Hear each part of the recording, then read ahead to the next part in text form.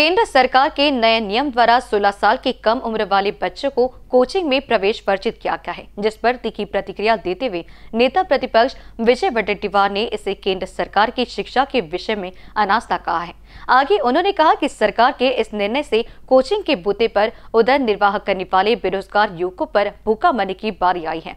एक तो सरकार रिक्त पदों पर भर्ती नहीं करती और दूसरी ओर यह स्थिति देखते हैं, आखिर क्या है यह निर्देश? शिक्षा मंत्रालय ने कोचिंग संस्थानों को लेकर नए दिशा निर्देश घोषित किए हैं। नए दिशा निर्देश के मुताबिक कोचिंग संस्थान 16 साल से कम उम्र के विद्यार्थियों को अपने यहाँ दाखिल नहीं कर सकेंगे। संस्थान छात्र को और अच्छे नंबर या रैंक दिलाने की गारंटी जैसे भ्रामक वादे भी नहीं कर सकेंगे। ये दिशा निर्देश कोचिंग संस्थानों को रेगुलेट करने के लिए एक कानूनी ढांचे की आवश्यकता को पूरा करने और बेहतरीन तरीके से निजी कोचिंग संस्थानों की बढ़ोतरी को रोकने के लिए है। मंत्रालय ने ये दिशा निर्देश विद्यार्थियों की आत्महत्या के बढ़ते मामलों, आग की घटनाओं, कोचिंग संस्थानों में सुविधाओं की कमी के साथ साथ उनके द्वारा अपनाई जाने वाली शिक्षण पद्धतियों के बारे में सरकार को मिली शिकायतों के बाद तैयार की है। दिशा निर्देश में कहा गया है कि कोई भी कोचिंग संस्थान स्नातक से कम योग्यता वाले शिक्षकों को नियुक्त नहीं करेगा। कोचिंग संस्थान विद्यार्थियों के नामांकन के लिए माता पिता को भ्रामकवादी या रैंक या अच्छे अंक की गारंटी नहीं दे सकते हैं।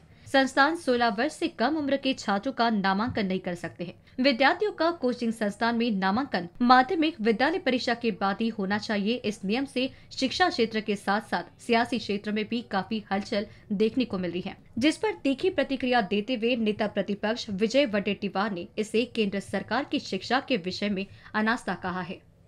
केंद्र सरकार सरकारचे काही निर्णय अत्यंत शैक्षणिक धोरणच त्यांचा जे आहे किंवा शैक्षणिक एकूण जी त्यांनी आता नव्यानं त्यामध्ये सुधारणा केलेली आहे हे शिक्षणाप्रती त्यांची अनास्था आहे.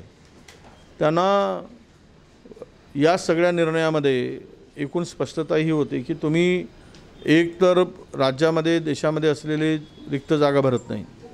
शिक्षकांच्या मोठ्या प्रमाणात जागा रिक्त आहेत आणि दुसरीकडे मात्र ट्युशनपासून त्यांना थांबवण्यात जायचं. आणि विशिष्ट लोकांना मोठ्या लोकांना तीच वेळ मोठ्या लोकांना संधी मिळते आणि गरिबाच्या किंवा सामान्य माणसाला त्यातून वंचित राहावं लागतं. आज शिक्षणामध्ये राज्याचाच विचार केला तर जेवढ्या जागा रिक्त आहेत त्यातून शिक्षणाची किती अधोगती चाललेली आहे शिक्षण क्षेत्राच्याकडे किती दुर्लक्ष आहे हे दिसून येतं. आणि हा निर्णय म्हणजे सोळा वर्षाच्या खालील मुलांनी ट्युशन क्लासमध्ये जाऊच नये तर जे बेरोजगार आता नोकरीच्या अपेक्षेत आहेत त्यांनी जर चार पोरांना शिकवून स्वतःचं घर किंवा कुटुंब चालवण्याचा त्यांच्या त्यांचं कुटुंब जे चालवण्याचा जबाबदारी आहे तीसुद्धा हिरावून पुन्हा त्यांना रस्त्यावर भीक मागत ठेवण्याची एक नवीन संधी केंद्र सरकारने शोधली आहे. कैमरा पर्सन राजकुमार मोहट के साथ मनीष टेमरी की रिपोर्ट।